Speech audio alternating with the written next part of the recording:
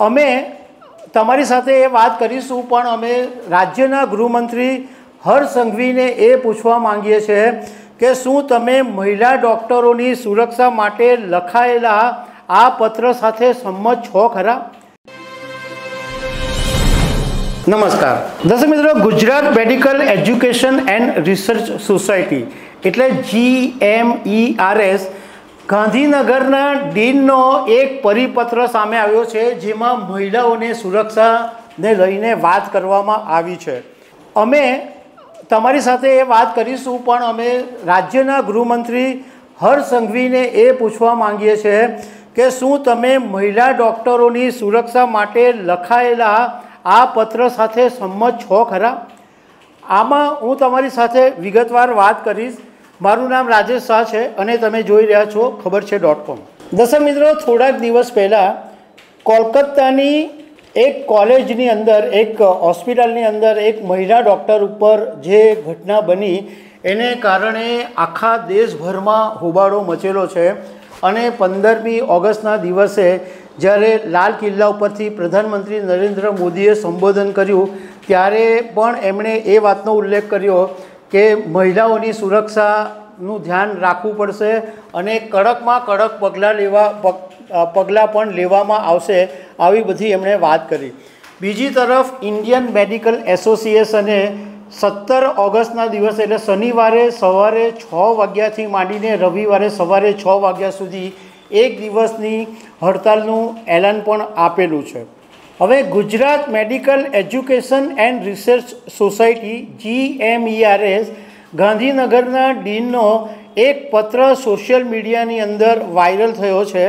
હવે આ જીએમઈઆરએસનો જે પત્ર છે, એના વિશે વાત કરતાં પહેલાં હું તમને ખાલી આ જીએમઈઆરએસ એટલે Gujarat medical education and research society શું કામ કરે છે, એના વિશે તમને થોડીક માહિતી આપી દઉં.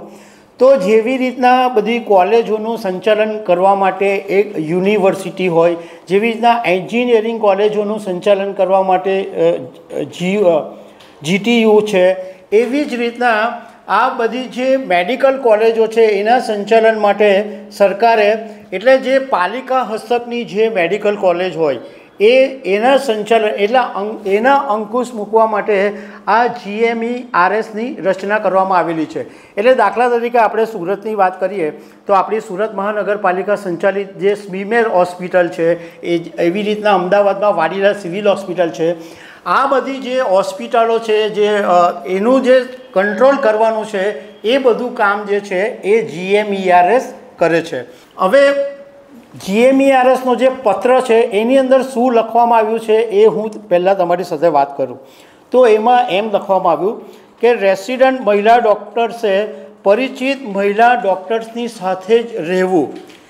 વિદ્યાર્થીઓ કે મહિલા ડૉક્ટર્સે એકાંતમાં નહીં રહેવું. રાત્રિના સમયે વિદ્યાર્થીઓ, મહિલા ડૉક્ટરો, નર્સોએ બહાર નીકળવું નહીં. અને પરિચિત વ્યક્તિ સાથે જ બહાર જવાનું રાખવું. એટલે તમારે બહાર જવાનું હોય તો તમારા પરિચિત વ્યક્તિ હોય એની સાથે જ બહાર જવાનું. હવે આ છે પત્ર સામે આવ્યો છે, ચલો એમ માની લઈએ કે એમનું એવું માનવું હશે કે મહિલાઓની સુરક્ષા કરવી છે, તો મહિલાઓની સુરક્ષા માટે આ જરૂરી છે. તો આ સૂચનો એમણે આપ્યા હોઈ શકે છે.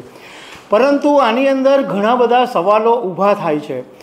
પહેલો સવાલ તો એ થાય કે આવા નિયમો મહિલાઓ ફોલો કરે તો મહિલાઓ બિચારી નોકરી કેવી રીતના કરશે?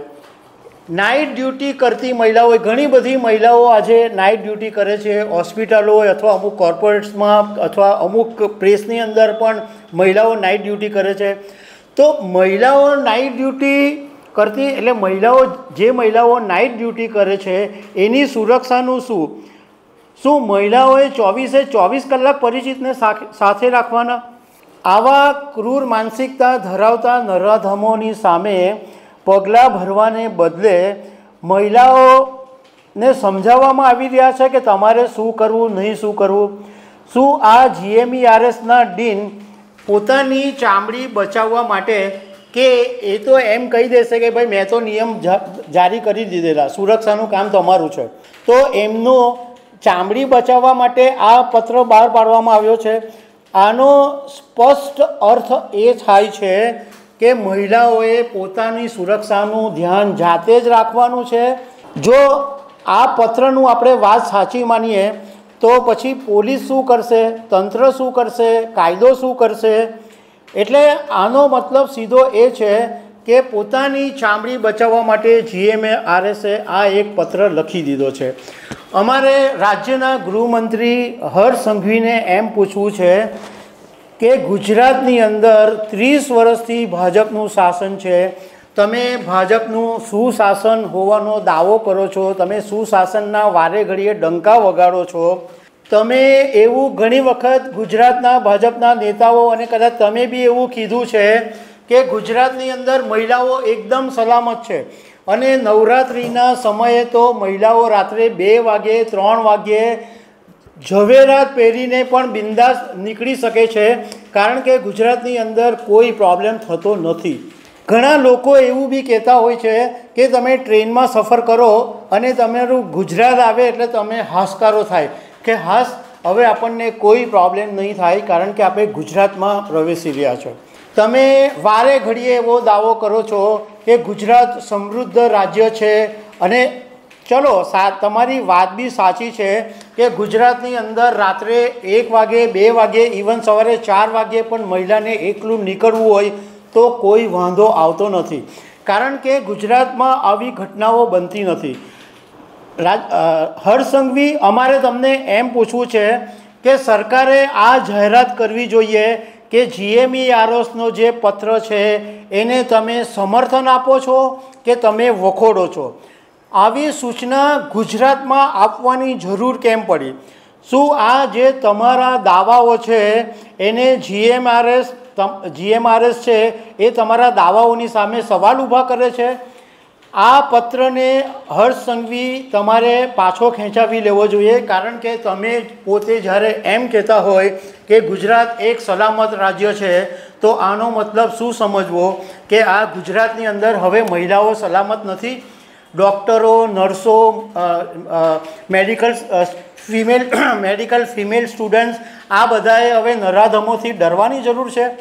નરાધમો ખુલ્લે આમ ફરતા રહે અને નિયમોનું પાલન આ મહિલાઓને કરવાનું. એટલે આ બધા કંઈક ઘટનાઓ બને એટલે મહિલાઓએ ઘરની બહાર નીકળવાનું બંધ કરી દેવાનું. માનનીય મંત્રી શ્રી હરસંઘવી, તમે આ વાતને ગંભીરતા લો. કાં તો તમે સમર્થન આપો કે તમે આ જીએમઆરએસનો પત્ર છે એને અમે સમર્થન આપીએ છીએ. ક્યાં તમે આ પત્રને પાછો ખેંચાવડાવો? કારણ કે આ ગુજરાતની ગરિમા, ગુજરાતની સલામતીનો પ્રશ્ન છે. તો દર્શક મિત્રો, આવી અનેક વાતો સાથે અમે તમને મળતા રહીશું. Thank you very much